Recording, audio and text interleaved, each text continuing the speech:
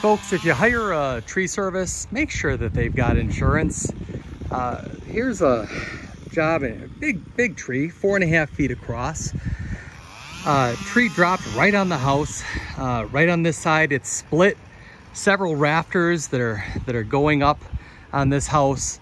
Uh, it pushed this whole section down uh, and then it basically compressed these areas. After the roof is uh, and structural members up there are taken care of, I'm probably gonna have to rip off this siding to find out if we've got cracked rafters that are supporting the walls. Uh, the company that did this doesn't want to provide their insurance information, uh, leading me to believe they might not have it. Uh, one thing that to understand how this structural stuff happens, when you've got a big tree like this that drops on the house, it pushes it down here and then uh, and then there's a rafter here that goes all the way from this area where it's supported in the wall all the way up here. Now, when it gets pushed down here, it's like a teeter-totter. Push down here, and then it comes up here. If you look real close, you this edge right here is actually cocked up a little bit, like that. So, uh, once this structural member from here all the way down to here is replaced, uh, this may end up being jacked up. Now, you've got siding messed up here, possible cracked studs inside of the wall. You got the same thing going on here. Now look at this, and you can see the gapping over here where that board has, uh, has popped out. Um, you had a secondary impact in this site right here uh, where a tree fell on, fell the, the same tree fell right here, pushed this wall or squeezed this wall together.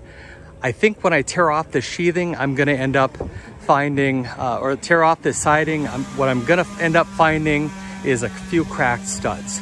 So the cedar that you see right here is going to end up having to be removed and then the sheathing underneath there is going to have to be removed and then the the insulation's probably going to fall out on the ground or we'll we'll end up putting some tarps out there to clean it up and we're going to have to investigate what's going on with these studs okay? If these studs are cracked we're going to have to either replace them or sister new studs on uh, and the same thing is going to have to happen on the side.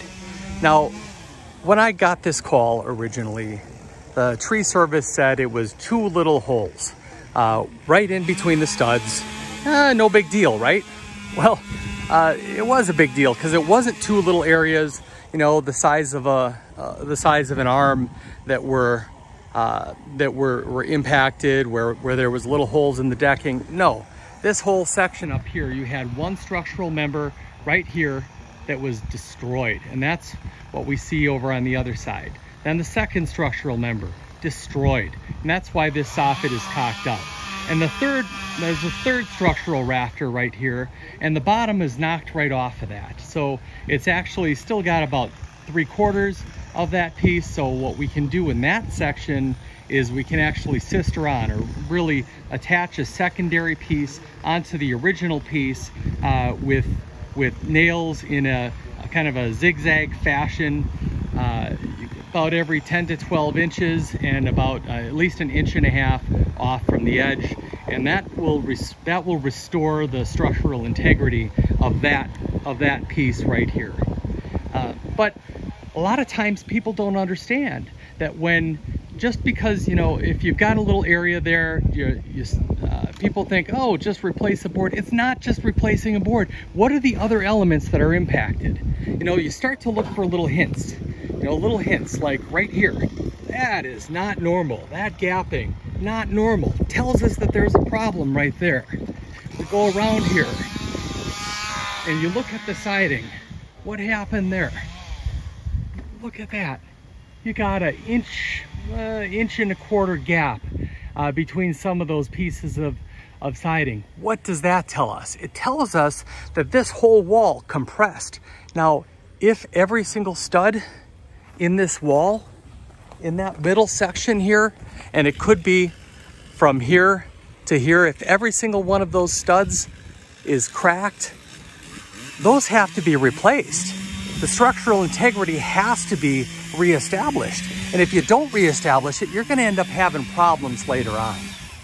So folks, if somebody tells you that a problem, that, that, oh, it's just a small little problem, start to look around for other elements here.